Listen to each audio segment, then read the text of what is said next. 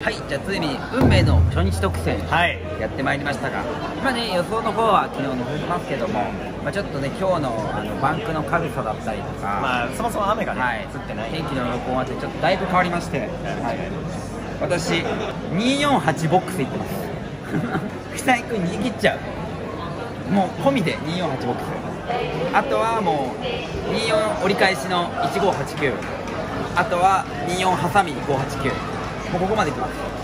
あとは古生マスギ1着の深谷2着2社単で。これ結構いいオッズだったんでこれで今日の負けをちょっと取り返そうかなと、はい、集ま集まりして。こんな感じですかね。まあほぼ一緒です。24の折り返しで一応まっすぐの頭も当てます245のボックスに、えー、789ヒロとヒロと交渉で一応北井君の残り。まあまあ行くよね。まあ、そうここはもう3行きたいよ。ね着力で取れる選手を入れた。主に245のボックス。で松木がね昨日言い忘れてたんですけど200勝がリーチなんで199勝なんですよね今ね、はい。でまあここで取れば気持ちいいし、ねまあ、自由に動けるのが松木だけなんで、まあいけるかな。後ろなんかねつ難関の後ろなんか入ったら面白いですよね。かなり。運命の。初日特選行くぜ！さん取る？大丈夫かまの資料を見ていますが、そこから決めた交渉、内側よく軍事、いや軍事粘れよ。軍事粘れよ！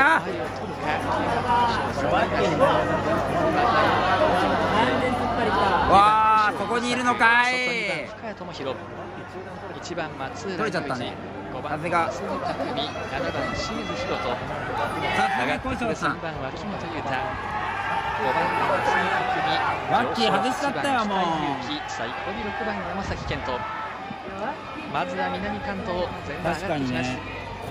前を取った軍事に迎え入れるのは8番の期待2番それはちょっと考えてないね。3番手を固めて強力なラインが出来上がります。3番の秋元9番の交渉近畿コンビ7番清水が1番の松浦。後方では5番の増木。6番山崎はそれぞれバンクで着想を待ちま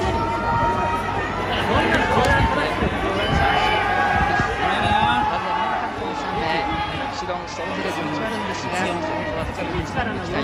赤い動きしっかり主導権つかめるかあの位置近畿やなま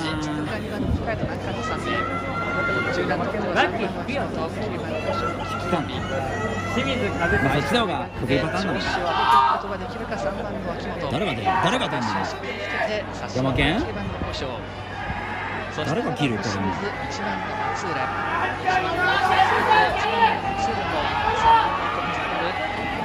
で結果を残したいところ。